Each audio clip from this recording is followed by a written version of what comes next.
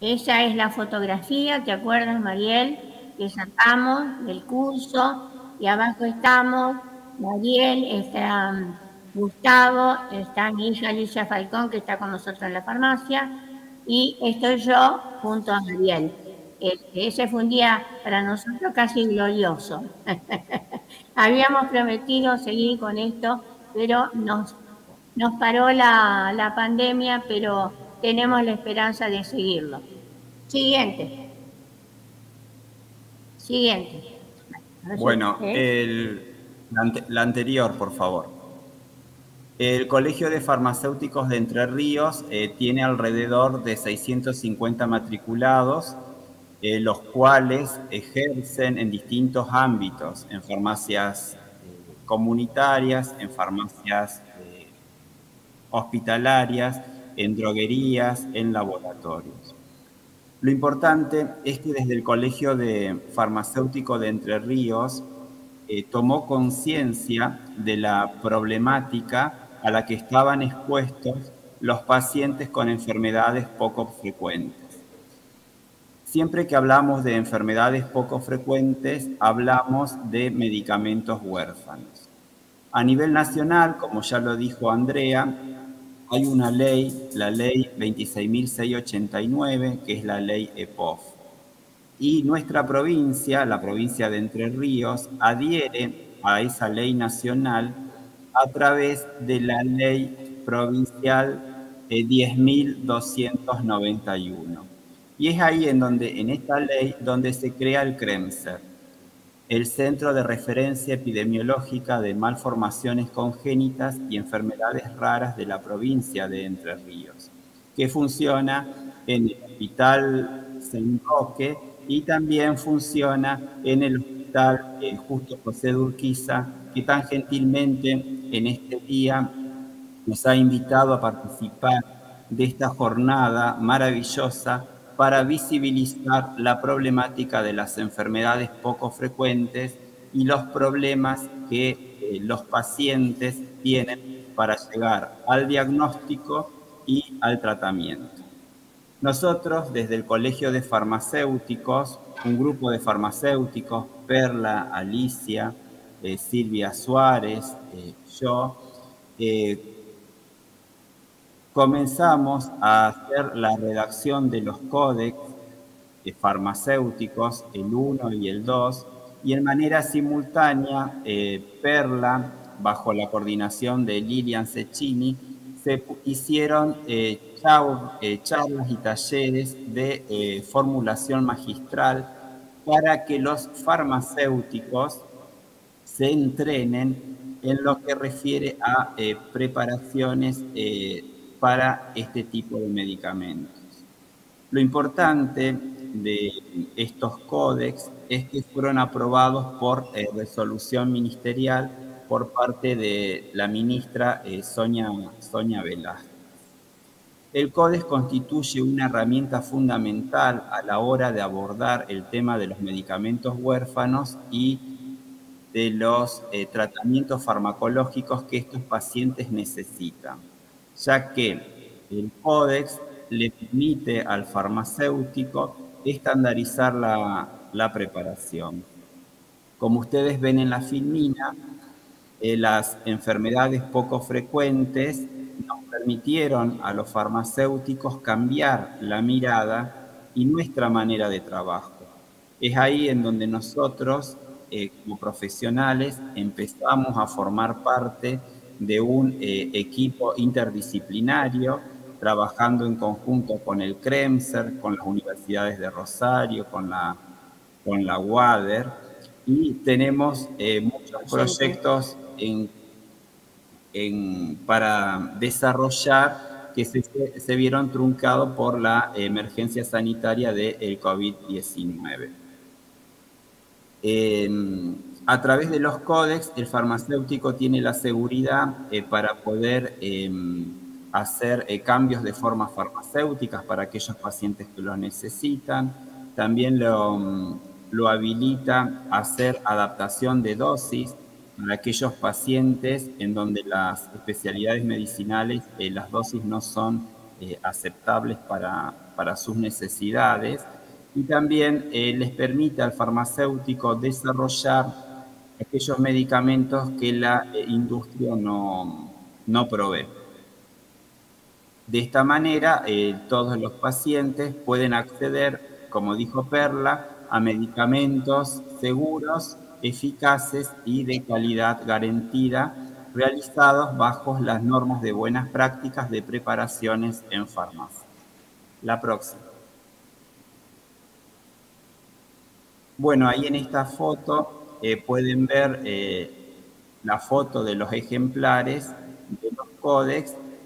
Ahora Perla nos va a comentar acerca de los, eh, de los mapas de nuestra provincia. Bueno, presentamos esos mapas y fíjense que el de la izquierda tienen los cuatro morteros.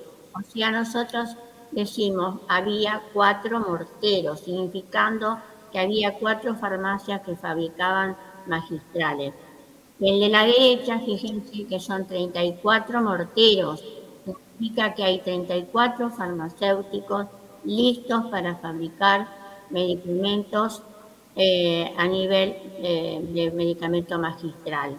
Y les mostramos los alumnos cuando están en los, talleres elaborando los medicamentos que van a ser eh, usados sin duda en sus propias farmacias.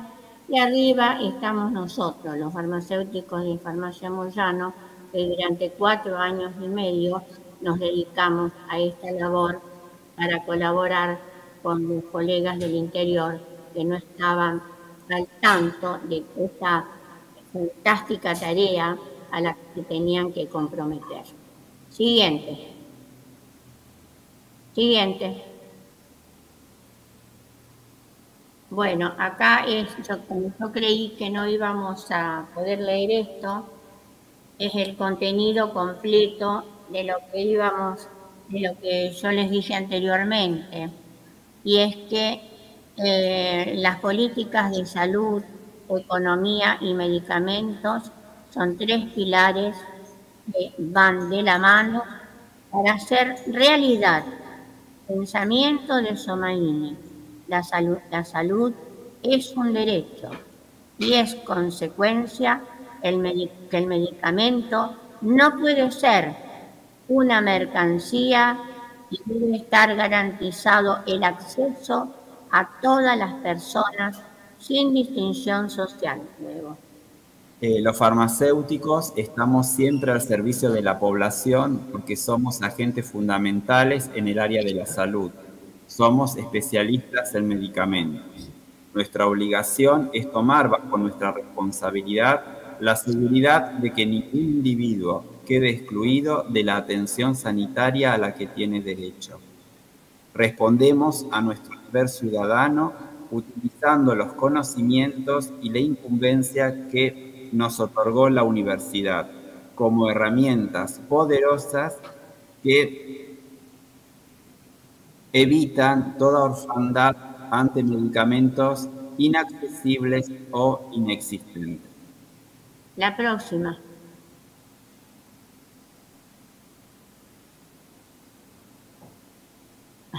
Bueno, acá les mostramos algunos de nuestros pacientitos, ¿no? Eh, bueno, a la izquierda ven los patrillizos, que ya tienen tres años más o menos, que atendimos todas sus necesidades porque cada uno nació con distintas patologías, nacieron acá en Paraná y hoy están hermosos. Nosotros el tratamiento que tuvimos que, refrendar eh, nos fue pedido por el Hospital Garrahan y están en el fichero de ellos. A continuación la tenemos a Luz, una nena con el síndrome de Edwards, que cuando nació le dieron tres días de vida y que hoy tiene tres añitos. Y a la derecha, bueno, la inefable María Josefina, la hija de, Gustavo, y bueno, con su, fíjense, con su dosis quística, y fíjense lo que es esa nena, habiendo sido asistida desde su nacimiento con todos los medicamentos que necesitó y que aún sigue necesitando. Y a continuación viene otra femina que nos ha emocionado enormemente. Bueno, esta es Mara. Nos, se hizo toda una divulgación hace dos años respecto a esta pacientita, donde pedíamos, este, digamos, se divulgaron afiches donde se decía, Mara necesita un corazón. ¿Qué significa esto? Esta es una nena cardiotrasplantada. Nosotros hicimos los medicamentos preparatorios para que esta nena estuviera en condiciones de ser trasplantada. Luego de eso fue trasladada junto a sus padres a Buenos Aires, donde vivieron hasta el momento en que fueron llamados. Nosotros nos habíamos enterado de que haya ido muy bien, pero no la habíamos vuelto más y teníamos un sentimiento muy profundo, porque decíamos, no la vemos más a esta nena, se han quedado allá. En estos días recibimos la gran alegría de volver a recibir medicamentos para Mara post-cardio-infarto para seguir su tratamiento. Entonces, esta es la filmina que agregamos a último momento porque no queríamos que dejaran de ver esto tan emocionante que nos pasó. Voy a seguir con esta nena por la que tanto se luchó y que fíjense lo hermosa que está y bueno, es otra de las grandes satisfacciones de los que hacemos formulaciones magistrales. Eh, la próxima. Fíjense el cartel de abajo. Bueno, muchísimas gracias. Muy agradecidos a todos por habernos invitado. Muchas gracias y bueno, y recuerden que nosotros como farmacéuticos siempre estamos eh, dispuestos a escucharlos y ayudarlos eh, de acuerdo a nuestras necesidades.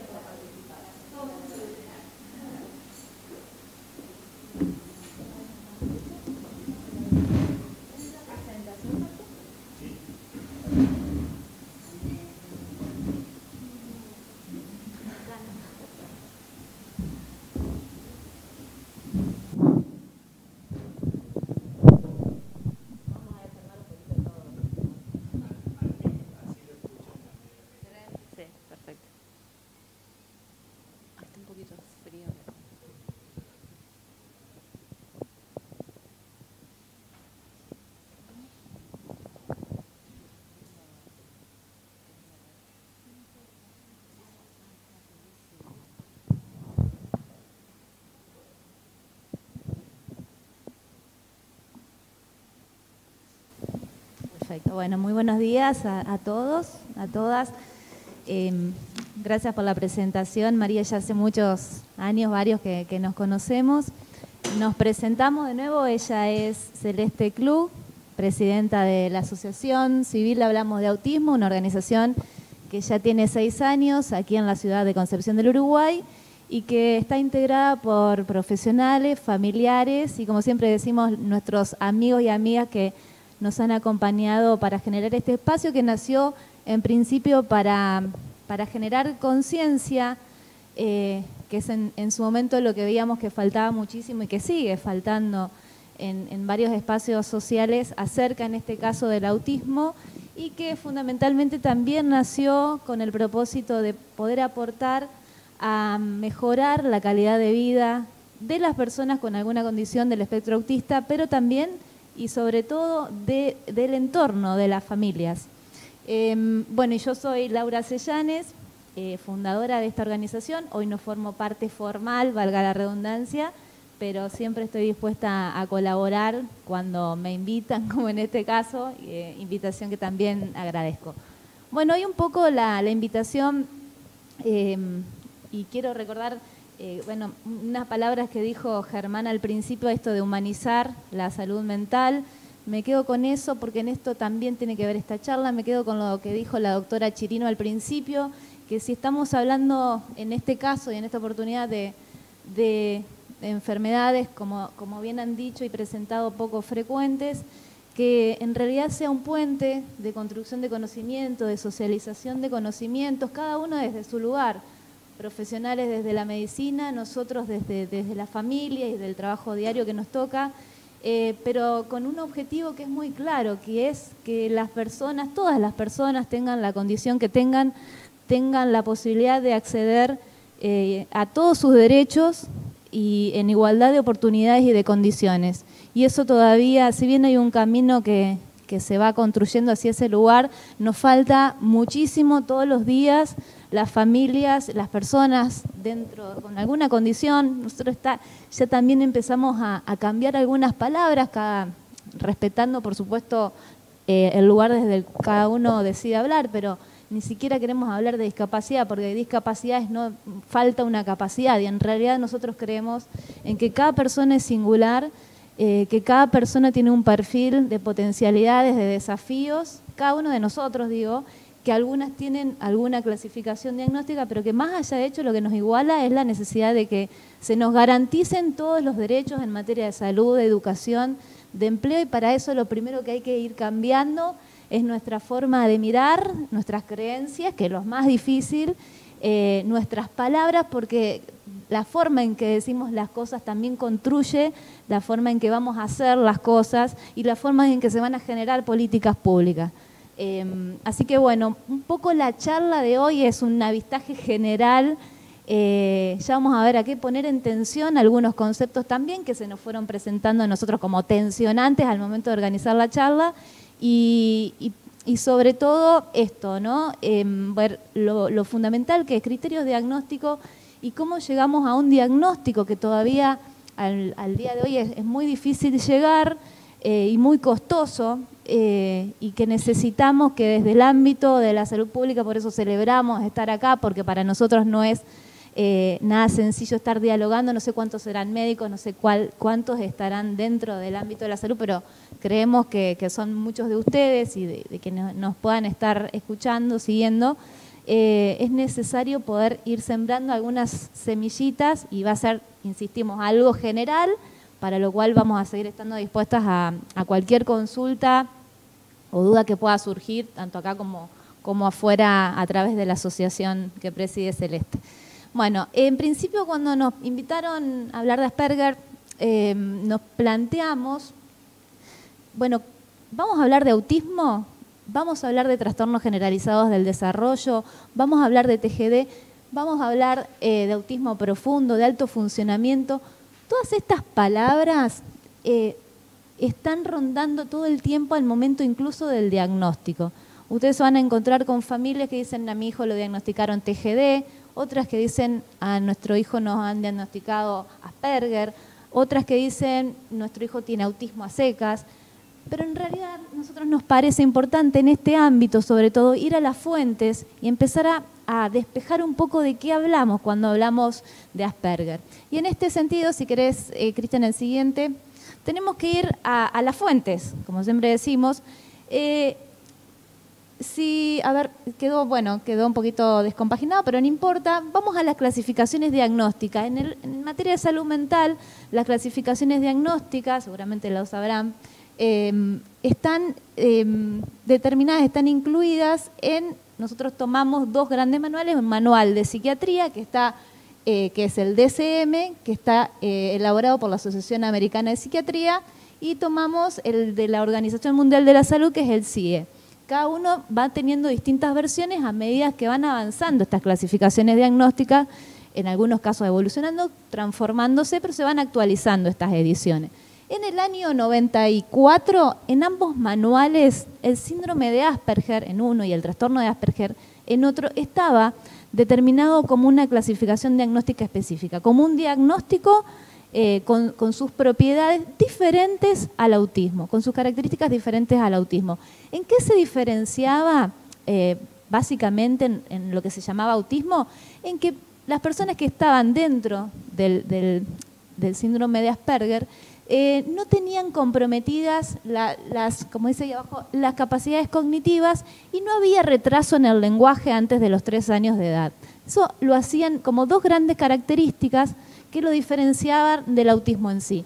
Pero, siguiente, Cristian, como decía que las clasificaciones diagnósticas están en permanente evolución, ya en el 2013 para el DCM en su versión quinta y en el CIE 11 en el 2019, el síndrome de Asperger, así lo voy a decir como muy este, paisanamente, desaparece ¿sí? de esta clasificación y se la incluye dentro, al igual que el autismo a secas, al igual que los trastornos generalizados del desarrollo, se le incluye dentro de lo que se va a llamar trastornos del espectro autista. ¿Sí? Es decir, que hoy, esta versión es todavía la que está eh, vigente hasta el día de hoy, era necesario volver a retomar esta fuente, porque cuando nosotros de aquí en más, porque también teníamos que tomar una decisión y nos pareció importante compartir esto, cuando hablamos, vinimos invitados a hablar de Asperger, pero vamos a hablar de autismo y eso no significa que no vamos a hablar de, Asperger, sino que vamos a hablar de características diagnósticas ¿sí? que van a, permitirnos, valga la redundancia, diagnosticar a aquellas personas que estén eh, compartiendo estos criterios diagnósticos con una heterogeneidad, como vamos a ver, y una variabilidad, que es lo que hace más complejo Em, esta, esta clasificación diagnóstica. Pero eso lo vamos a ver más adelante. Lo que tiene que quedar acá claro es que no es que no vamos a hablar de Asperger, sino que ya lo vamos a estar haciendo al referirnos de aquí en adelante a hablar de autismo. Ahora bien, eh, vamos a poner en tensión eh, la primera invitación a, esta, a esta instancia, es decir, ¿estamos hablando de que el autismo es una enfermedad? Claro, bueno, eh, también empezamos hablando de que íbamos a venir a hablar de Asperger, ahora eh, directamente ya eh, explicó Laura que vamos a hablar de autismo en sus grandes variabilidades y que no es una enfermedad porque bueno no se saben las causas, no tiene cura y no se utilizan fármacos, ¿sí?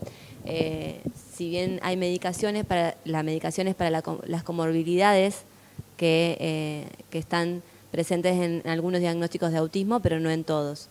Y, no es una enfermedad, como decía Cele, porque no hay causas, no es que esta causa genera que una persona tenga autismo. Hay condiciones de riesgo, hay factores de riesgo que están implicados claramente en, este diagnóstico, pero no hay causas. Los factores de riesgo pueden ser la edad prematura del niño al nacer, eh, algunas cuestiones genéticas, ambientales, pero hasta el día de hoy no hay, no hay causas. Entonces no podemos hablar fundamentalmente por eso no podemos hablar de enfermedad. ¿sí? bueno, y lo, clasificamos como una condición del desarrollo cerebral temprano, ¿no? Este desarrollo cerebral que ustedes bien saben se va modificando y va evolucionando de acuerdo también al ambiente que lo rodea. Eh, los criterios diagnósticos que se encuentran en estos manuales que Laura mencionó hace un ratito, tiene que ver con, con dos criterios fundamentales. El primero es el déficit persistente en la comunicación y en la interacción social en diversos contextos. Esto hay que verlo y observarlo, ¿no? no solamente en el ámbito educativo, sino en el familiar y en los diversos contextos donde se mueva esa persona. Y, eh, y tiene que ver con la comunicación en cuanto al lenguaje, pero también en la interacción social, ¿no? Si hay una reciprocidad en ese lenguaje, es lo que va a marcar este criterio. El segundo criterio diagnóstico es, son los patrones restringidos y repetitivos de la conducta.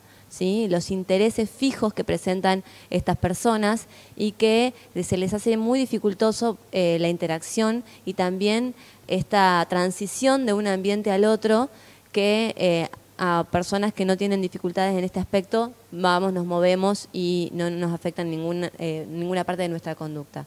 Estos son los dos criterios diagnósticos que están presentes en los manuales. Ahora, también se menciona estos dos siguientes criterios que no, son menores.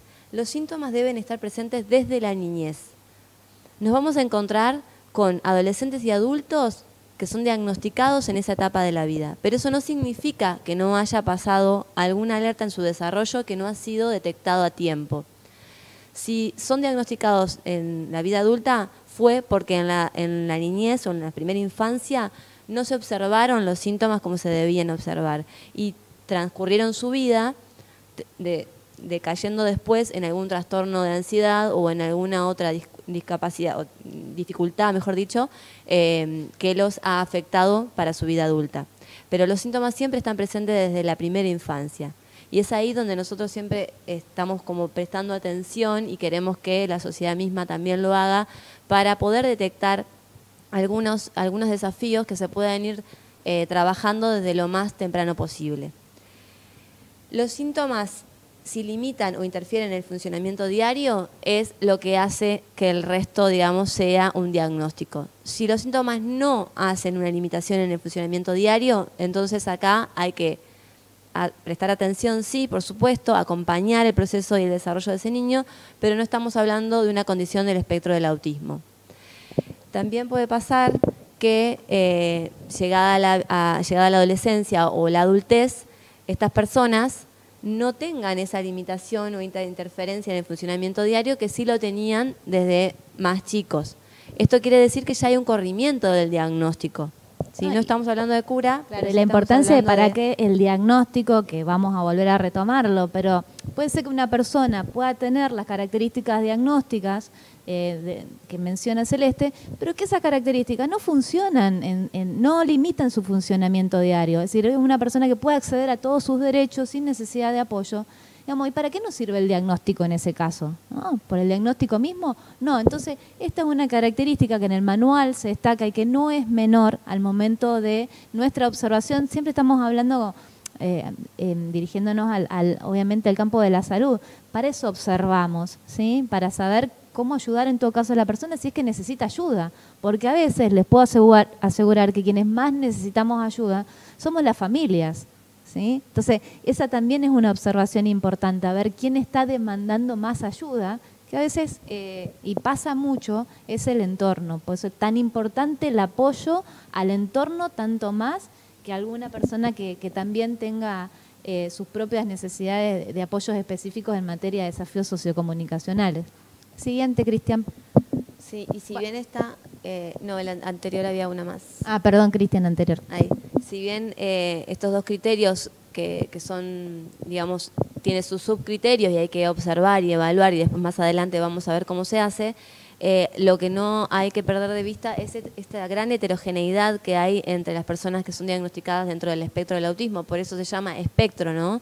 Hay una gran variabilidad en lo que tiene que ver con el nivel de lenguaje. Podemos encontrar personas que tienen un lenguaje muy fluido, que se comunican eh, a través de todas las palabras y hay personas que tienen un lenguaje nulo y que se comunican a través de, una comunicación aumentativa alternativa que son los pictogramas. ¿sí? Hay mucha variabilidad en eso. Eh, también hay una gran variabilidad en el nivel cognitivo. Hay personas que pueden llegar a tener una dificultad intelectual y hay otras que están dentro del espectro que no tienen dificultades intelectuales eh, y hasta a veces son más elevadas por esos intereses restrictivos y repetitivos que tienen y que los hacen enfocarse en esa, ese gran interés que presentan. Y otro de los niveles que hay que tener mucho en cuenta, que es lo que venimos hablando y repitiendo, son los niveles de apoyo que necesita esa persona. Si necesita apoyo, si necesita apoyo sustancial o si necesita apoyo muy sustancial. Esto marca una gran diferencia y una diferencia en el paradigma también que estamos transitando en donde antes se hablaba de autismo y se lo mencionaba como autismo eh, leve o autismo elevado, y en realidad ahora se mide a través de los apoyos que va recibiendo y que va necesitando esa persona, ¿sí? Y eso implica e involucra inevitablemente al contexto. Y, y, yendo, digamos, me meto, ¿no? Pero yendo en consonancia con lo que dice Celeste, tiene mucho que ver con el no paradigma social de la discapacidad, donde ya no hay nada que arreglar en la persona, ¿sí? Como planteaba el, modelo médico hegemónico, donde había alguien que estaba enfermo que había que curar un trastorno que eh, había que arreglar. Ya no se trata de arreglar a la persona, sino que se trata de ver cuáles son las barreras que existen en el entorno que hacen que esos desafíos, esas particularidades o singularidades que tiene una persona no le permite ejercer y acceder a todos sus derechos. Hay, hay un gran cambio que, que, ya lo estamos viviendo y estamos transitando y seguramente nos queda un tiempo más, aunque a veces nos gustaría que sea como todo más rápido, pero en este cambio de mirada no hay nada que arreglar en ninguna persona. ¿sí? Lo que hay que hacer es ver qué necesita esa persona para poder acceder a todos esos derechos, que son los mismos que tenemos nosotros, de estar acá escuchando, de poder ir a la facultad, porque veo, creo que hay estudiantes de medicina por allá atrás, vamos nomás. Eh, trabajo en la UNER, por eso digo, vamos, vamos nomás con medicina. Eh, entonces, eh, es identificar ya que las barreras están en el entorno, en cómo hemos construido este mundo, cómo lo hemos pensado, ¿sí? porque lamentablemente todavía las etiquetas diagnósticas eh, entorpecen mucho al momento de, pensar a la persona como, un, como, sujeto de derecho. ¿sí? Todavía parece que eh, nos pasa todo el tiempo, pero ¿cómo va a ir a la escuela común? Si no se puede mover, si tiene retraso madurativo y vienen con todas las clasificaciones diagnósticas.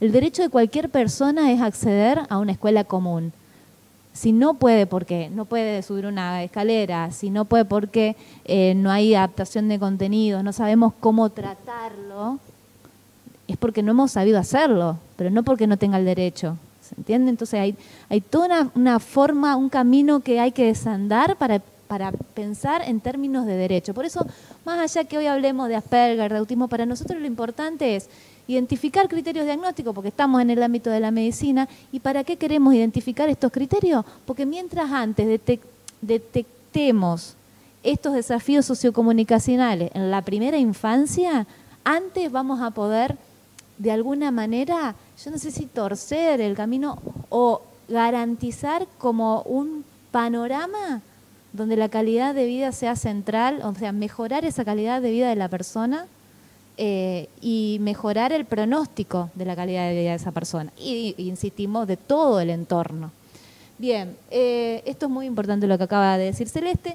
Y una de las preguntas, Cristian, siguiente, que bueno, que también nos hacemos en el marco de este, de este encuentro de enfermedades poco frecuentes, ya dijimos, esto no es una enfermedad. La pregunta siguiente es, ¿es poco frecuente? Bueno, lamentablemente en Argentina no tenemos estadísticas y vuelvo con lo que también decía una de, las personas que, estuvo exponiendo antes que nosotras, lo importante de conocer eh, de, qué, de quiénes estamos hablando, de cuántas personas estamos hablando, de, de, reconocernos, porque en función de eso vamos a poder organizar nuestras prácticas, nuestros servicios de salud, nuestros apoyos comunitarios, y es súper importante conocer eh, las estadísticas. En Argentina no existen en términos de autismo, pero sí todos nuestros centros de referencia en, Argentina y los investigadores y, la gente que se dedica a esto se referencia en estadísticas que eh, vienen desde, Estados Unidos, desde los Centros para el Control y la Prevención de Enfermedades, que se dedican, entre otras cosas, a generar estadísticas en, en términos de prevalencia de autismo ya hace muchos años. Y esta es la última cifra que arrojó eh, lo publicado en diciembre de 2021, que es uno de 44 niños de 8 años tiene autismo. Esta es una cifra que se toma ya a nivel mundial, la OMS anda más o menos por ahí, creo que es cada 59. Son cifras em, que se toman y aparte lo vivenciamos cotidianamente. Las consultas que llegan son muchísimas, muchísimas. Consultas, digo, a la asociación. También sabemos que a los centros de salud eh, eh, suceden y, lo, digamos, y está bueno poder estar acá porque es necesario repensar el modo en que atendemos esas consultas. Bien, uno cada 44, poco frecuente no es. Poco frecuente no es. Eh, seguimos bregando para que pronto podamos tener un registro estadístico también en nuestro país porque es la única manera vuelvo a citar a, las colegas, las colegas, no, las, expositoras que hablaron antes, eh, pues sin esos números lamentablemente no podemos saber cuál es nuestra realidad y qué hacer con esa realidad.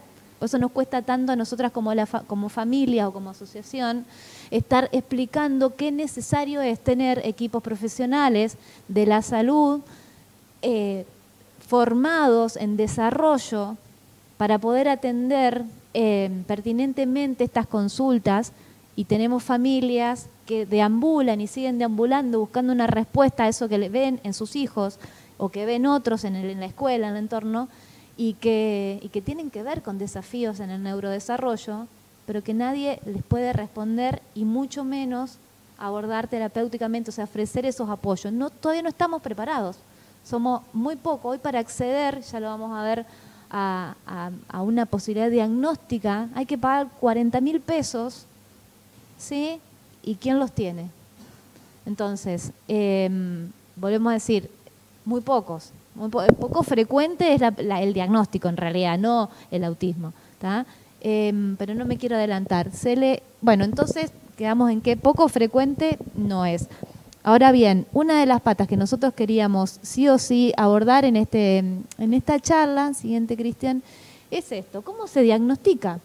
Y yo pregunto, me encantaría saber, los profesionales de la salud, ¿escucharon alguna vez hablar del consenso sobre diagnóstico y tratamiento de personas con trastorno del espectro autista? ¿Saben que hay un manual que dice qué hay que hacer, cómo hacerlo y con quiénes hacerlo? Y que fue aprobado por el Ministerio de Salud y Desarrollo Social de la Nación en 2019, que está accesible, gratuito por supuesto, estamos hablando del Estado, eh, en este link, que está ya, bueno, un link tremendo, no lo van a poder copiar nunca, pero en todo caso lo podemos hacer accesible. Está absolutamente esto que estamos diciendo y mucho más, está absolutamente detallado de cómo proceder ante la sospecha, eh, quiénes diagnostican, cómo se diagnostica. Me encanta que estén tomando nota los, futuros médicos allá atrás. Pediatras necesitamos, pediatras, pediatras. Em, y, esto, ¿no? Es decir, ¿cuáles son los pasos necesarios para poder llegar a, a un diagnóstico, buen diagnóstico y mucho mejor a un buen plan de abordaje terapéutico con un perfil único para esa persona. Pero ahí la dejo a, Celeste que sabe más que yo. lo primero eh, que, uno pretende que pase, que suceda, es que en la observación pediátrica, donde se lleva al niño a, hacer todo el control físico, se haga también este control del desarrollo eh, sociocomunicacional de la persona. Es, es una vigilancia que se hace a través de una observación y de preguntas al cuidador. Em, esta vigilancia también se puede hacer a través de herramientas que están eh, de uso libre y gratuito, como el, el IODI, que es para hasta, hasta cuatro años de edad, donde se hace esta, esta observación y se va puntuando cuáles son los ítems que van llamando la atención. O también está el PRUNAPE, que eh, ya es hasta seis años de edad. Eh, en las redes aparece una app que también la hemos observado, investigado y también nos parece acorde a, esta observación, que es, el desarrollo, que lo, puede hacer cada familia, haciendo un seguimiento de, de acuerdo a la edad de, cada, de cada uno de sus hijos o hijas. E, esta es re importante, perdón, esa app la bajan del Google Play, ustedes como familia o se la pueden recomendar eh, a, a, los pacientes, familias pacientes, una app de descarga gratuita donde van teniendo todo el registro del desarrollo de ese niño, de esa niña, eh, con los principales hitos en el desarrollo y ante cualquier sospecha en, alguna alerta de ese desarrollo que no suceda, bueno, eh, se van prendiendo lucecitas como para consultar, no son diagnósticas, estamos de acuerdo, ¿no? O sea, son alertas que pueden estar surgiendo si no se alcanzan determinados hitos en el desarrollo. Y es absolutamente gratuita. ¿sí? Ninguna de las herramientas que vamos a nombrar son herramientas de diagnóstico, son herramientas de apoyo al diagnóstico, ¿sí? que ayudan a la observación, porque el, diagnóstico es clínico, lo tienen que hacer personas que están formadas en este tema. Pero sí, cualquier persona puede hacer una vigilancia en ese desarrollo y si hay ítems que llaman la atención, poder pasar a herramientas de pesquisa. En el siguiente, la siguiente filmina les vamos a mostrar que estas herramientas de pesquisa también están de uso libre y gratuito a través de esta página que, eh, que nombramos acá, que se llama Panacea. Eh, vamos a encontrar, se, se pasó toda la... Bueno, no importa.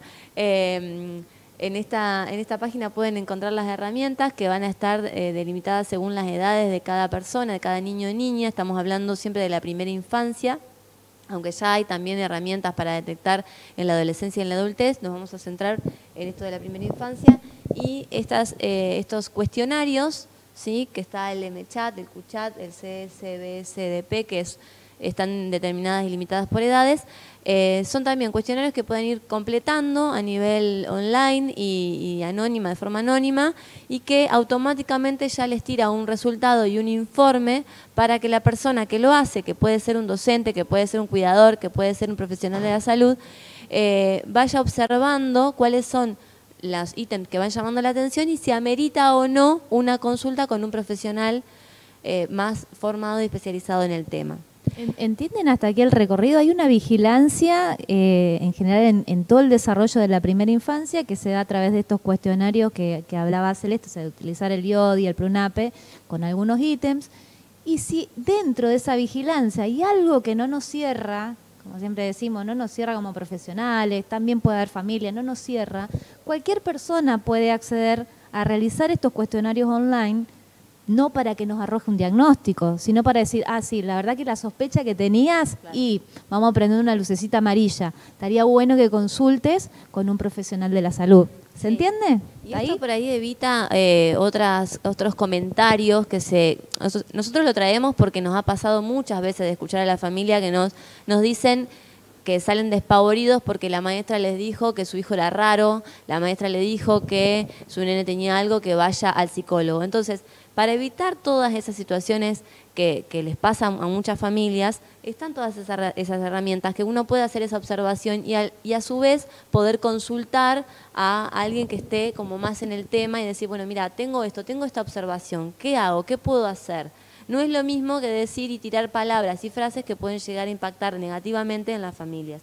Entonces, si nos apoyamos en estas herramientas y tenemos fundamentos para decir, bueno, mira, me parece que sería bueno que, puedas consultar a otro profesional, de ahí esa familia va a salir un poco más informada de qué es lo que tiene que hacer para despejar esas dudas que presenta su hijo y que aclarando todo el tiempo que esto no es una herramienta diagnóstica y que no por esa observación que tengamos nosotros vamos a condicionar al chico o a la niña que tenemos enfrente.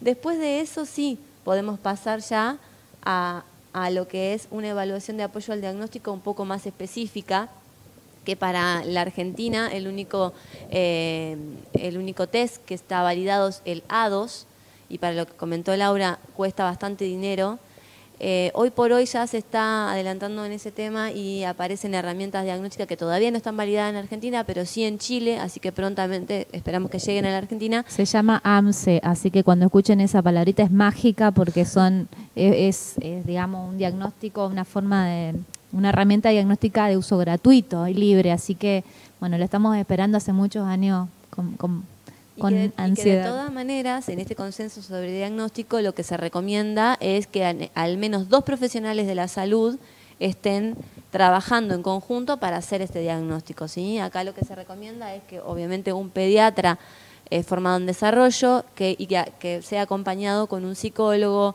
o un una persona especialista en fonoaudiología o en psicopedagogía. ¿sí? Siempre los diagnósticos, cuanto más interdisciplinarios sean, mejor. Pero ¿para qué nos sirve el diagnóstico? O sea, una vez que hacemos todo este recorrido y llegamos al diagnóstico, ¿para qué lo queremos? ¿Solamente para ponerle el nombre a esa persona y saber qué es lo que tiene? No. Eh, el diagnóstico es esto, define el perfil de tratamiento que necesita esa persona. Es una foto que se le toma a la persona y que sepamos desde ahí, desde dónde estamos parados y qué podemos hacer. ¿Sí? Si tenemos el diagnóstico vamos a poder saber qué perfil que, si hay alguna comorbilidad, alguna enfermedad concomitante al, diagnóstico, es lo que tenemos que empezar a trabajar. ¿Cuál es su perfil sensorial? Que esto es bastante nuevo y que cada vez por suerte se está hablando más. ¿sí? ¿Cuál es la manera que integra sensorialmente esa persona los estímulos que va recibiendo del ambiente y que eso va a ayudar o va a poner una barrera al momento de querer trabajar o acercarme, acercarme a, a ese niño o a esa niña?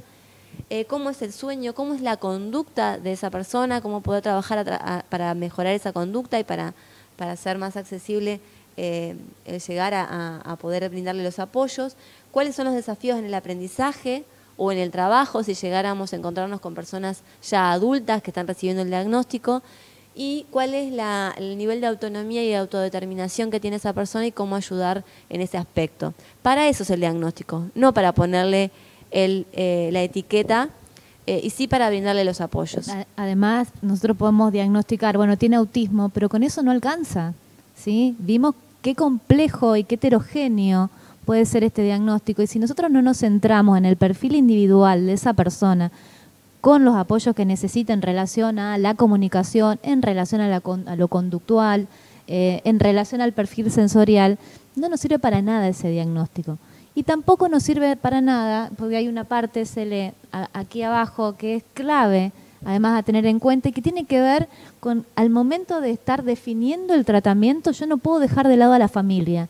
¿En qué cree la familia? ¿Con qué recursos cuenta la familia? Nos ha pasado un montón de veces, a mí me tocó irme hasta Buenos Aires a buscar una respuesta porque acá no la encontraba, y me dieron, digamos, para mi hijo eh, una serie de, abordajes terapéuticos. Cuando vine acá, eh, hablaba en chino, mandarín. Nadie hacía ese tipo de terapia.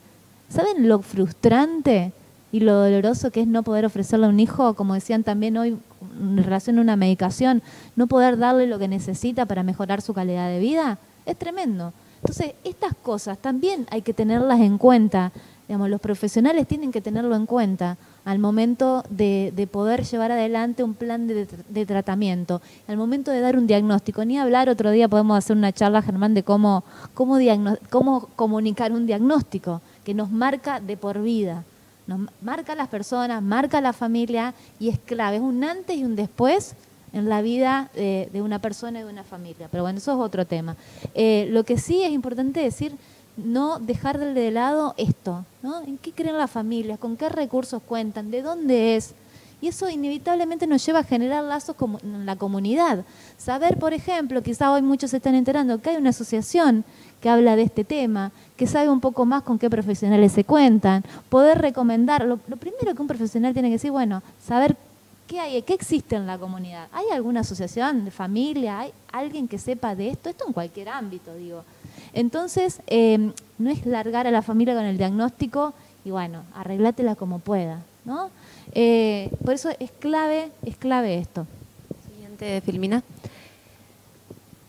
Entonces, bueno, esto lo vamos a pasar un poquito eh, más rápido porque es lo que venimos diciendo hasta el momento. Lo más importante es la detección temprana para que para después en la vida adolescente o adulta poder quizás necesitar menos apoyos o a tal vez no necesitar apoyo y poder tener una vida más independiente. Todo esto tiene que ver con, eh, acuérdense que es una condición del desarrollo cerebral temprano, entonces si más apoyo se le brindan a la persona y de forma más adecuada, ese, desarrollo cerebral va a ir modificándose y va a ir mejorando a, a, niveles diferentes en cada una de las personas, ¿no? Entonces, eh, la intervención temprana es clave, por supuesto, y esto que decía Laura y lo que vamos a seguir hablando eh, es, la, el impacto que tienen las familias y cómo involucrar a la familia y a los cuidadores más cercanos en esta eh, en este acompañamiento a ese niño a esa niña y no solamente el familiar, sino todo el resto, ¿no? En, en, donde se vaya desenvolviendo esa persona. Exacto, no involucrar a la familia solamente para que me llenen los papeles de la obra social, el CUD y que haga de chofer para llevarlos a las terapias. Involucrar a las familias es brindarles herramientas para que en sus casas también puedan llevar adelante esas técnicas para mejorar la comunicación, el contacto visual, que es lo que genera eh, la, primera forma de comunicación y que, de aprendizaje ¿no? entre las personas, que eh, le dé esas herramientas que se implementan en un consultorio, que puedan trascender esos consultorios y de alguna manera impactar positivamente, porque siempre decimos, no impacta positivamente solo en ese paciente eh, o, en la persona con alguna condición, sino en toda la familia. Imagínense lo que es para una madre, para un padre, para un abuelo, saber que es parte activa de esa transformación, de, esa mejora en la calidad de vida de la persona que más ama. No hay, nadie más que lo pueda sentir con, con tanto orgullo, no hay nadie más que quiera implicarse tanto como esa persona que ama a, alguien que tiene alguna condición, en este caso del espectro autista. Y para eso, bueno, eso también implica cambiar un poco la cabeza, ¿sí? Es decir, no que el saber ya quede eh, reducido y dentro de un consultorio, porque imagínense, uno cada 44, adivinen qué nos pasa, no hay profesionales, no alcanzan los profesionales aunque estén recontra especializados. No, hoy un gran drama de las familias que tienen alguien dentro del espectro autista es que no consiguen turno en el caso de que tengan una obra social que los cubra, eh, que, tengan dinero, lo que fuera. Imagínense quien no tiene nada, ni hablar, porque ni siquiera llega un diagnóstico.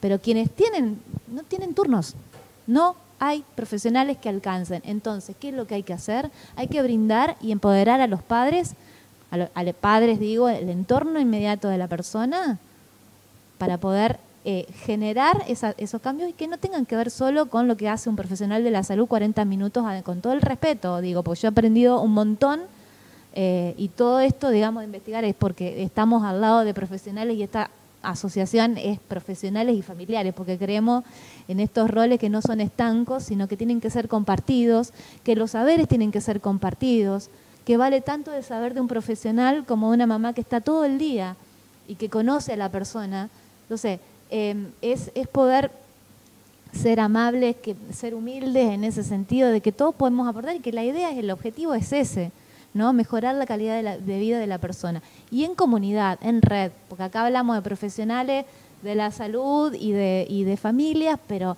la escuela es un, es un actor clave, eh, digamos, en, bueno, en esto de lograr algunos derechos eh, es clave y también son profesionales que tienen que estar trabajando en red dentro de la comunidad. Bueno, lo que tiene que ver con el tratamiento, entonces, todo lo que es eh, atención temprana, eh, involucrar a las familias y poder tener en la mayor, en mayor posibilidades un equipo interdisciplinario son claves. Los fármacos, los psicofármacos son necesarios en, casos de, enfermedades concomitantes al diagnóstico. Y por supuesto la capacitación diaria porque como decíamos desde el principio, eh, los diagnósticos van evolucionando y va cambiando permanentemente. La última, Cristian. Así ya nos vamos cerrando. Bueno, es un poquito eh, de lo que ya venimos hablando. O cada vez que hablamos siempre decimos, elegimos un lugar desde el cual hablar. Nosotros intentamos salir un poco, eh, romper algunas cosas que tienen que ver con un modelo médico hegemónico que todavía eh, está presente en muchas de nuestras prácticas y, es la única forma esta de ir eh, rompiendo mitos y, creencias eh, para transformar políticas públicas, para transformar nuestras prácticas en el, desde el lugar que nos, toca, en una escuela, en un hospital. y bueno, este es el cambio que más surge. La verdad es que hoy las familias siguen y seguimos em, digamos, sobre todo las familias y las personas con algún desafío dentro del espectro autista, no la están pasando tan bien. Eh, los derechos están siendo vallazados en las escuelas. Hace poquito salió una resolución donde acompañantes terapéuticas no pueden eh, acompañar, valga la redundancia, a chicos que necesitan apoyos. En algunas escuelas, algunas escuelas están tomando esto, otras no.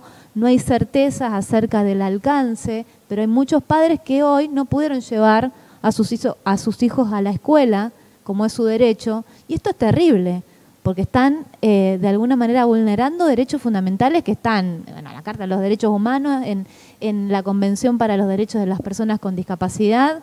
Y bueno, yo aprovecho este espacio porque son muchas las familias que están pasando por esto eh, en la provincia de Entre Ríos, y así como algunas escuelas no, insisto, otras sí. Y esto, la verdad es como, bueno... Eh, Trasciende en muchos sentidos, eh, no solamente, como decíamos, en el ámbito educativo, sino en el de salud. Siempre nos encontramos con estas barreras y hoy estamos hablando desde la experiencia, desde lo que escuchamos, desde las familias eh, que nos van contando cuáles, cuáles son sus desafíos más grandes por los que tienen que pasar. Todo lo que tiene que ver con diagnóstico, todo lo que tiene que ver con eh, detección temprana, lo podemos encontrar en un manual. Ahora, ¿cómo hacer el tratamiento? ¿Cómo hacer eh, que esas personas reciban el apoyo necesario? Es lo que hoy nos encontramos con, con una barrera importante. ¿Sí? Nosotros como asociación lo que podemos hacer es seguir concientizando, seguir hablando de autismo para que la mayor eh, parte de la gente se entere y sepa eh, de, esto que estaba hablando recién Laura, ¿no? del cambio de mirada que debemos tener cuando nos se nos presenta una persona con desafíos, que eso ya impacta mucho en, esa persona y en la familia. Pero nos falta un recorrido muy amplio todavía para, para seguir desandando, eh, que son esas barreras que se van presentando. que necesitamos de todos, ¿no? No solamente de una, de una parte. Sí, fue hoy fundamentalmente em, clave poder contarles cuáles son esas instancias de vigilancia, de pesquisa, de diagnóstico, porque nos falta un montón en el ámbito público. O sea, hoy no tenemos un espacio que garantice esa vigilancia, o sea, no digo que no haya, obviamente que hay pediatras que lo hacen, médicos que lo hacen, pero todavía sigue siendo mucha la demanda de las familias que nos llegan y nos dicen, nos tienen a las vueltas, no saben qué es, nos mandan a un neurólogo, nos mandan a un psiquiatra, eh, y se pierde mucho tiempo que es clave en ese desarrollo. Entonces, mientras antes podamos acortar eso y que para eso estamos, que haya conciencia y que cada uno desde el lugar que, que, tiene lo pueda ir transformando, para nosotros ya es un montón. Hay una pregunta.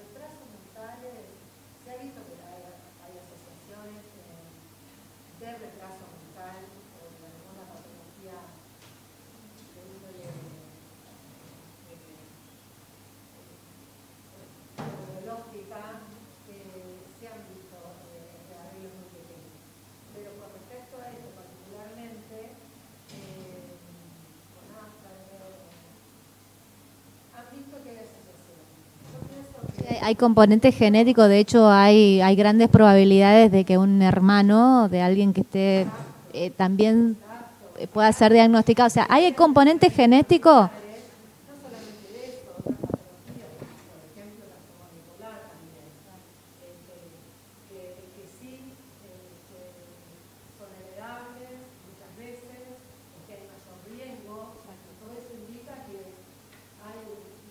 Claro, por eso por eso se habla de factores de riesgo. Hoy causas, no. A nivel mundial, no. Se sigue investigando. Factores de riesgo, componente genético, sí. Sí, porque hay hermanos que también son, o padres que pasa mucho que, a ver, a partir del diagnóstico de sus propios hijos, la familia, mamá, papá, empiezan a pensar, decir, ah, esta conducta, esto que me pasaba, que sufrí en la infancia, que fue bullying, que ahora es bullying, antes era más este, lamentablemente más, común, pero siempre fue bullying, eh, por algunas características, ah, y se hacen un diagnóstico, ¿sí? Y resulta que sí, que tienen autismo. Entonces, evidentemente hay un componente genético, lo que es un factor de riesgo, pero causas hoy no, porque si podríamos hablar de causas, estaríamos en otra condición. Ahora, más allá de la, y esto no quería, eh, nada, el autismo no es igual a retraso mental, el, el autismo no es igual, es como verán, hay una variabilidad, por eso se llama espectro. Hay una variabilidad, o sea, hablamos de autismos incluso, ¿no? Trastornos del espectro autista. Em, una variabilidad enorme. No quería aclarar eso nada más porque me quedó ahí, porque se trata de esto de la concientización es, eh, es esto. Y incluso nosotros, al igual que otra estudioso,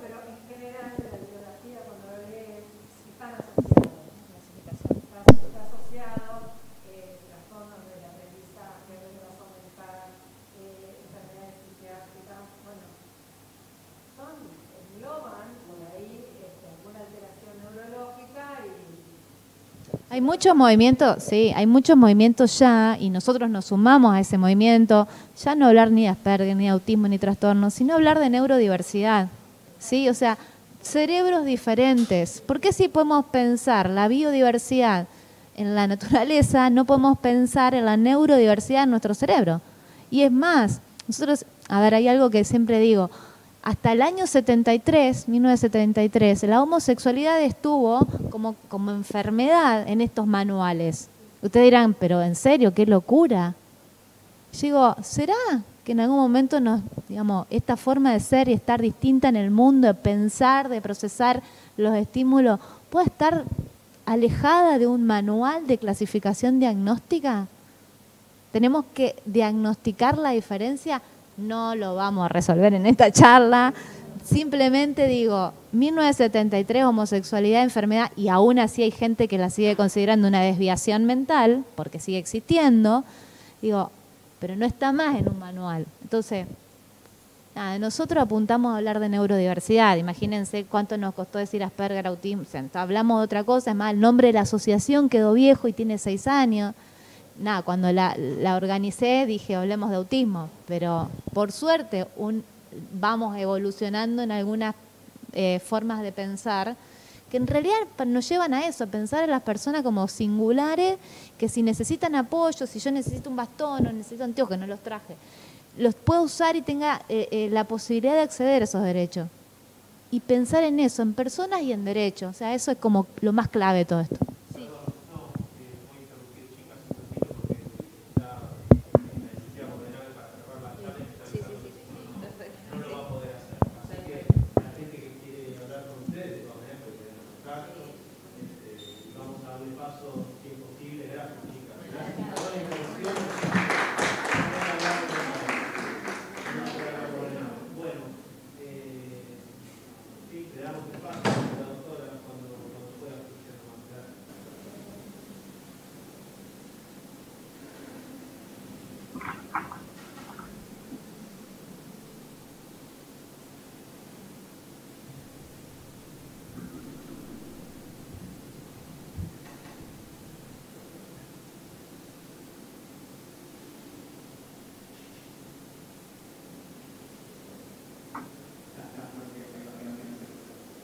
Bueno, doctora, adelante, nomás, le agradezco un montón este, este, que, esté acá, que esté acá, sabemos, que se atrasó un poco todas las, presentaciones, así que gracias.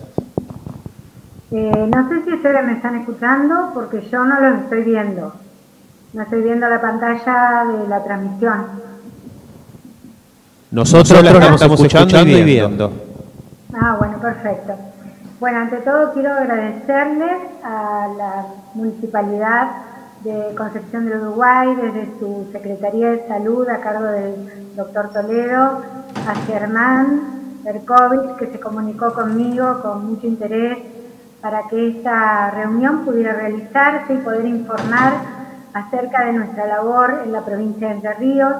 También quiero agradecerles a todos los que han participado ya, porque son parte integrante, son miembros de eh, nuestra comunidad, de nuestro centro, Kremser. Y bueno, eh, a todos en general, sobre todo a María Marta, que es local y que trabajamos mucho con ella porque ella, digamos, representa al laboratorio de genética de la costa del Uruguay, que está integrado a la labor de Kremser, eh, ya que nosotros tenemos dos laboratorios de genética eh, uno en la costa del Paraná, a cargo de Liliana Guichard, y el otro en la costa del Uruguay, que eh, dirige la doctora Soto con mucha solvencia, sabe mucho de enfermedades genéticas. Y bueno, eh, a ver, nosotros este evento, lo, en cierto modo, lo propusimos para hacer en esta semana, ya que el 28 de febrero, todos los años, la comunidad mundial celebra homenajea a los enfermos poco frecuentes y eh, quiere no solamente compartir con ellos todo lo que se refiere a su enfermedad en sí, sino en realidad todo lo que se refiere a su eh, integración, a su relación con, mm, digamos, la vida diaria de las personas que muchas veces se ve afectada por su condición.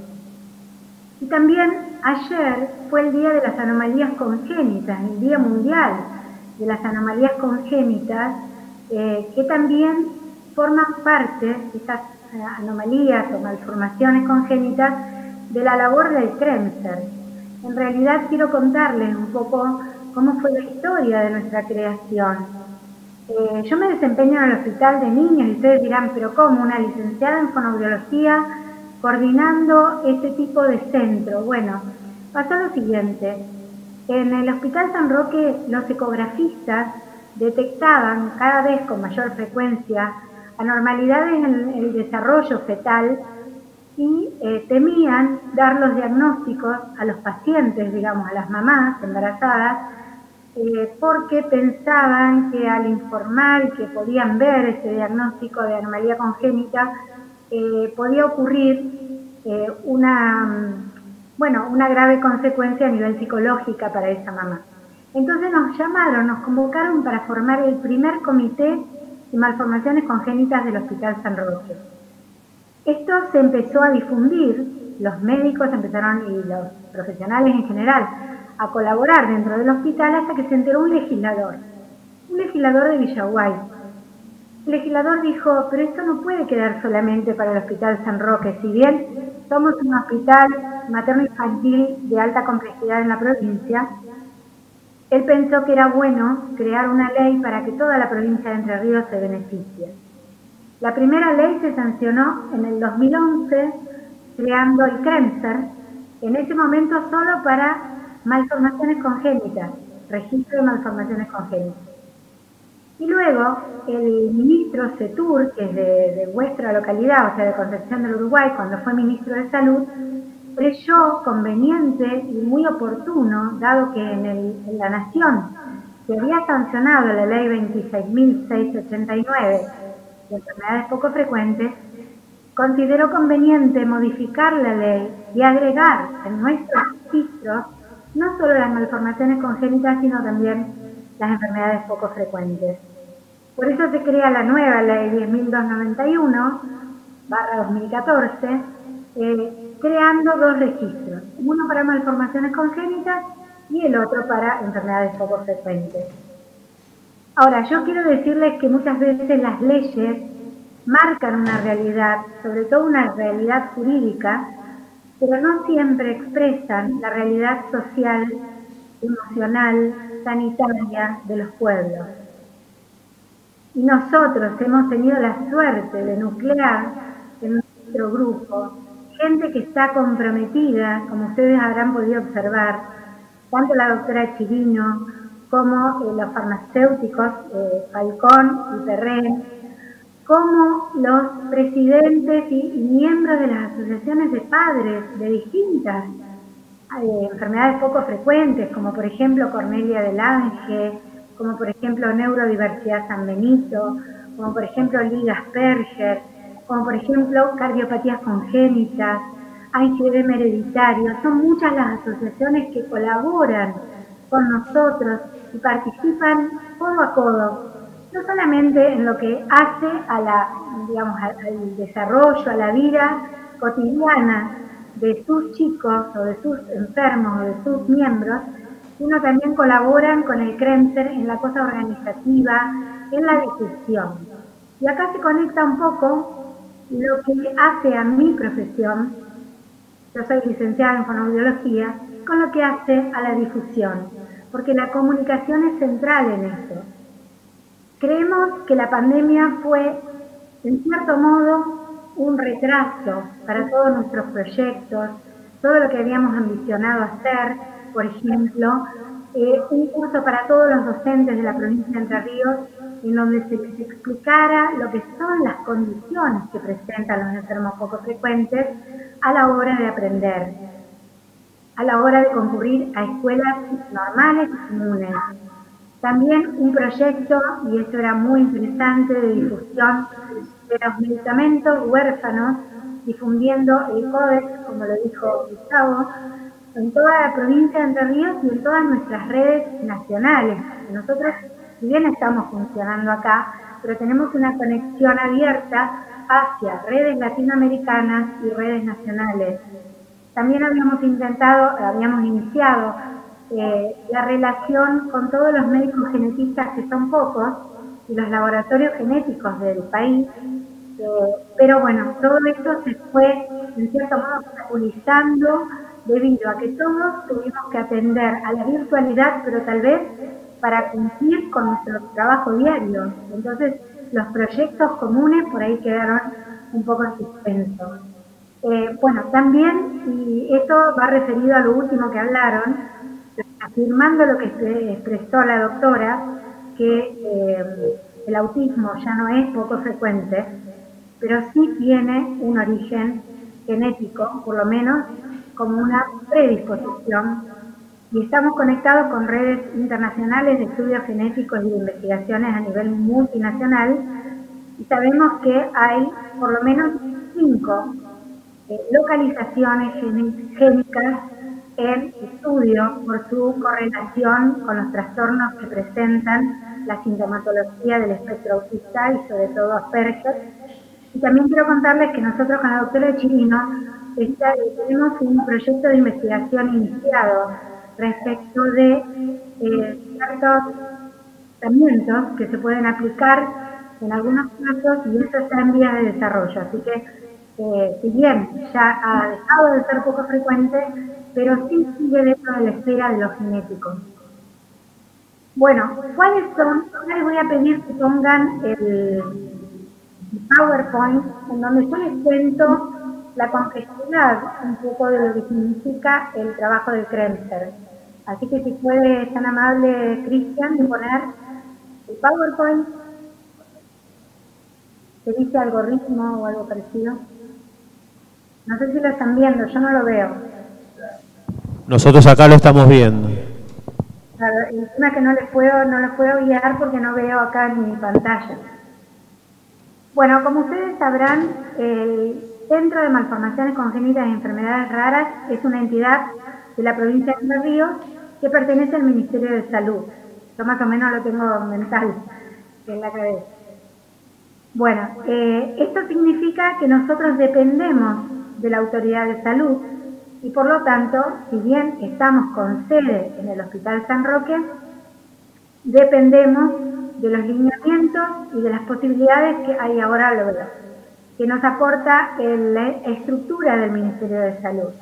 Por lo tanto, nos referimos en nuestra problemática, en todo lo que queremos realizar o hacer, con la Dirección de Epidemiología, ya que nuestro centro está creado para realizar registros más que nada registro de enfermedades poco frecuentes y de anomalías congénitas. Pero no nos quedamos solamente con esto, sino que también tenemos otras áreas, que sería la de capacitación, porque la doctora Chirino desarrolla todos los años los cursos de genética para el equipo de salud. Con lo cual lo que se pretende es comunicar a todos los efectores de salud, ya sean médicos, neurólogos, eh, endocrinólogos, etcétera, como psicólogos, odontólogos, kinesiólogos, eh, se los capacita en ver cómo están eh, manifestadas las enfermedades genéticas que tienen un sinnúmero de signos que a lo mejor en alguna de las especialidades se puede llegar a captar y asociar y por supuesto en ese caso a derivar a la atención diagnóstica de la doctora Chirino. La siguiente, por favor. Las vías por las cuales nosotros recibimos los pacientes son muchas. Básicamente, a la izquierda de la pantalla ustedes verán que eh, lo principal es la maternidad y eh, los servicios de neonatología públicos. ¿Y por qué señalo lo público?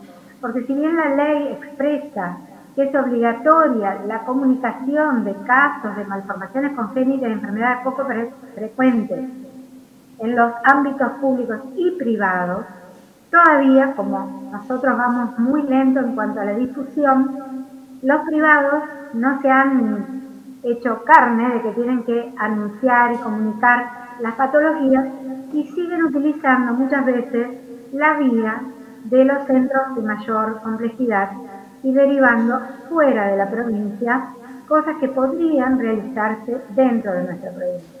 Por eso claro esto.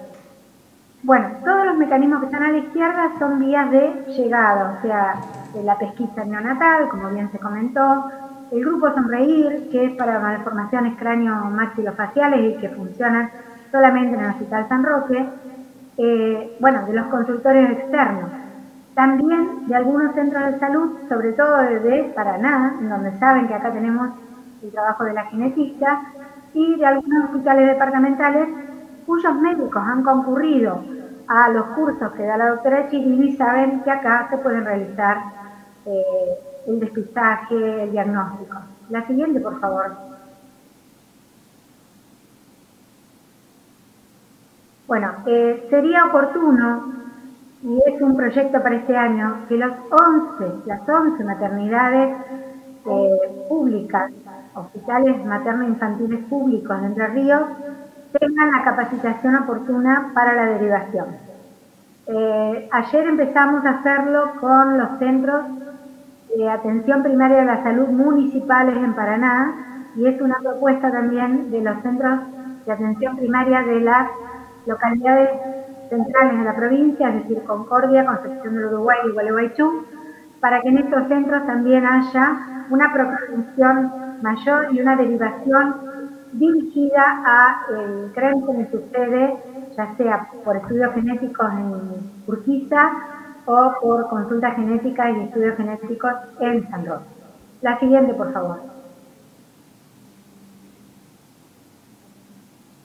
Bueno, de un primer, eh, una primera estadística que hicimos cuando recién empezábamos a trabajar por los registros que se habían logrado en 2011, tuvimos 132 eh, casos y en este momento en realidad de los 132 casos me río porque es eh, irrisoria la comparación. Estamos atendiendo eh, aproximadamente en consultorio entre 350 y 420 pacientes derivados por sospecha genética o de trastornos de enfermedades poco frecuentes. Así que, bueno, hemos crecido a pesar de la poca difusión, de la poca veces información pública que hay sobre nuestra existencia, hemos crecido notoriamente. La próxima, por favor.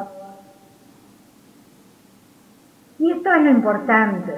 Acá lo que tenemos que comparar es cuánto gastaría la, tanto la, Secretaría de Salud o la Administración Pública, así como eh, las obras sociales, en derivar pacientes a Paraná para realizar los primeros estudios, por lo menos aquí, o por lo menos la primera consulta clínica en Paraná, y cuánto saldría derivarlos a centros de máxima complejidad, como son, ya lo nombraron, el Hospital Garzón, el Hospital Gutiérrez, el Hospital del Cruce, eh, hospitales de Rosario, por ejemplo, sobre todo lo que hace a cardiología, y cuánto saldría si concentraran los esfuerzos en dotar al centro de malformaciones congénitas de todo lo necesario como para que por lo menos haya una información de los sectores de salud respecto de nuestra existencia. Y la comparación es abrumadora, porque cuando se deriva a un paciente para un estudio genético a centros, digamos, de mayor complejidad, que están concentrados básicamente en Buenos Aires, en el conurbano o en Capital, o en Rosario o en Córdoba, lo que estamos enviando no es un paciente, es a toda una familia, o por lo menos a los padres, para que ellos puedan realizar eh, los estudios que deben pagar alojamiento, porque eso no está incluido en la derivación, entonces hay que costearlo de algún modo, ya sea la obra social o el Estado provincial, eh, pagar los estudios específicos que se le realice, las prácticas, ya sea cirugía y demás, este, de un modo total, o sea que el costo excede en más de 10 veces lo que sería iniciar, por lo menos protocolizar que un primer, una primera consulta se realice en nuestro centro. La siguiente, por favor. Bueno, los miembros, como ustedes verán, somos pocos los miembros que trabajamos activamente para el CREMSER, pero en realidad eso que, como dije antes al principio, se aumenta, se multiplica por la colaboración de todos aquellos que trabajan de modo ad honorem, eh, por simplemente por el hecho de, tener un familiar o presentar una enfermedad poco frecuente y colaboran con nosotros en todo lo que hace a la difusión, a la presencia del cáncer en distintos eventos y entidades. Tenemos referentes que nos envían a través de mail eh, planillas mensuales con los informes de nacimiento o de sospechas de casos. Pero eso no muchas veces lo logramos porque nos falta el detalle más importante y eso tal vez fue la propuesta que más se afectó por la pandemia. Estábamos trabajando con epidemiología la realización de una plataforma de eh, comunicación de casos automática desde todos los efectores de las maternidades o de los hospitales materno-infantiles provinciales y epidemiología tenía destinado un grupo de gente trabajando para realizar técnicamente, tecnológicamente esta plataforma. Pero cuando surge lo del COVID, todos los recursos se tuvieron que concentrar tanto en la comunicación de casos COVID como en las vacunas, en la distribución de vacunas provinciales y nos pidieron un paréntesis que esperamos se retome este año para que esta plataforma sea un hecho y haga fácil y efectiva la comunicación de casos para que podamos tener, como decía esta mamá, datos reales, o sea, datos concretos, estadísticos de cuántos casos tenemos. Eh, bueno, la siguiente, por favor. ¿Cuáles son obligatorias? Bueno, todas las que están acá, esto es más que nada para los estudiantes de medicina que están presentes, estas van a ser para ellos, y son para todos, las enfermedades que hay que comunicar, malformativas congénitas, ya sean nacidos vivos o muertos, con embarazos de más de 20 semanas de, de gestación. Las enfermedades metabólicas y enzimáticas congénitas, enfermedades degenerativas de la infancia, esto va más que nada para los neurólogos, pediatras, psiquiatras, que hay pocos, eh, traumatólogos que muchas veces sufren, eh, deben comunicar estas enfermedades. Bueno, todo lo que son enfermedades poco frecuentes, que eso muchas veces los clínicos o los pediatras avesados, que están bien formados, pueden diagnosticar por la sintomatología clínica muchas de estas patologías. Las enfermedades genéticas, todas aquellas que tengan eh, desde el punto de vista del fenotipo, es decir, de los rasgos faciales, físicos o eh, funcionales, aquellas que ya están sospechadas y que necesitan solamente del de la genetista de un estudio especializado, ya sea laboratorio citogenético eh, o de los otros estudios biomoleculares que se tienen que derivar fuera de la provincia. Bueno, la próxima.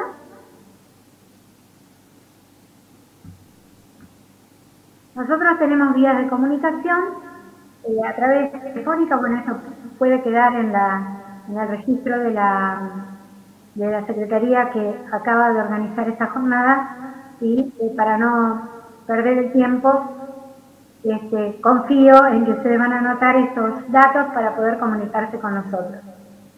Bueno, por último, quiero decirles cuáles son eh, nuestras debilidades y nuestras fortalezas. Y podemos hablar de, eh, pasala, pasala, pasala, porque eso es un poco lo que estuve comentando. Em, quiero hablarles de nuestras debilidades y fortalezas, ¿por qué?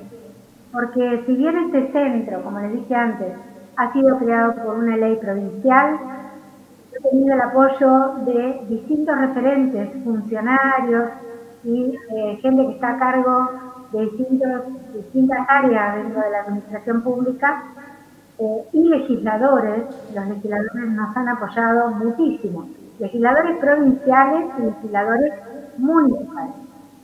Quiero hacer un agradecimiento para ellos. Este, pero nosotros creemos en la fuerza de la comunicación. Más allá de los presupuestos, del dinero que se destine, o no, queremos aclarar que esto no es una cuestión de costo. Muchas veces se nos dice que Clevison no avanza por los costos de los medicamentos huérfanos. Eso no es realidad. Nosotros sabemos que el presidente de la Nación, eso la verdad que es muy importante saberlo, tiene a través de los servicios de, eh, eh, de la Secretaría de, Servicios Sociales Nacional, tiene una vía de provisión de subsidios específicos para medicamentos huérfanos. Y esto quiero que lo sepan porque se utiliza cuando el medicamento no se consigue por su costo, por su dificultad o porque es muy exclusivo, digamos, para una patología determinada, presidente de la nación lo aporta. Así que no es una cuestión de costo. Cuando el medicamento es muy caro, como decían las colegas que me precedieron, por ejemplo, mucopolisacaridosis, el, eh, el espinraza para la atrofia muscular espinal tipo 1, eh, esos medicamentos tienen vía de solución. Los otros medicamentos, tenemos la suerte de contar con este códex de formulistas que pueden producirlo en las farmacias locales de la provincia. Acá no hay una cuestión de costo.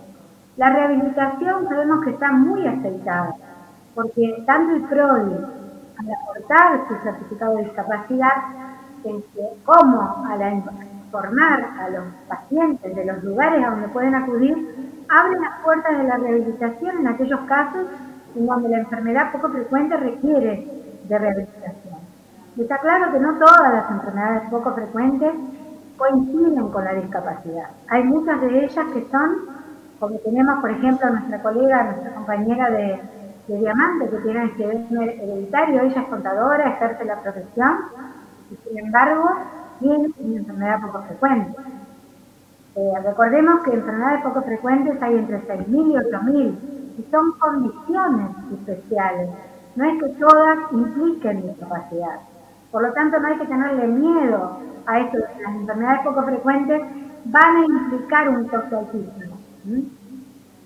Tenemos también la suerte de que podemos llegar al diagnóstico de un modo económico, porque la doctora Chirino está pagada por el Ministerio de Salud de la, de la provincia, o sea que ella puede ir allanando el diagnóstico para tantas cosas que es necesario, ya sea para que la obra social eh, agilice las prestaciones, las pueda utilizar, los medicamentos, en el caso de lo público, para que todos los mecanismos oficiales, ya sea el PROFE o todos los eh, eh, elementos de ayuda, subsidios y demás de los hospitales puedan colaborar con esos pacientes. Acá no hay una cuestión de costos, acá hay una cuestión de comunicación. Creemos que es la clave de nuestro avance Mientras podamos contar con la plataforma de comunicación de casos, mientras podamos contar con capacitación en los hospitales materno-infantiles de la provincia y en los centros de atención primaria de la salud, vamos a tener gran parte de la batalla ganada. Así que bueno, yo quiero agradecerles a todos la paciencia, la escucha, han llegado hasta acá eh, por su interés y su sensibilidad. Y yo les agradezco muchísimo esto porque es lo que a nosotros nos hace falta, ¿eh? la sensibilidad de aquellos que están en ciertos lugares en donde de algún modo o de otro van a entrar en contacto con enfermos poco frecuentes. Bueno, me despido de ustedes, quedo a disposición para lo que quieran y estamos en contacto. Muchas gracias por todo y les agradezco a Germán y a todo su equipo, a María Marta, al doctor Toledo, a todos de nuestra, eh, bueno, por nuestra invitación. Bueno, muchas gracias doctora, gracias a los que nos acompañaron hasta el final y a quienes están en la virtualidad. Muchas gracias.